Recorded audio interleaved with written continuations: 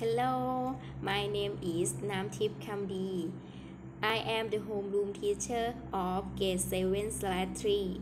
Today I am going to present clip 39. It is about daily routine. I have six vocabulary words and six sentence. Vocabulary and sentence number one. Sleep.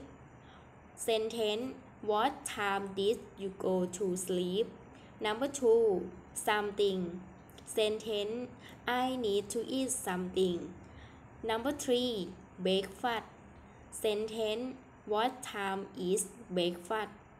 Number four. Dinner. Sentence What did you eat for dinner? Number five. Make.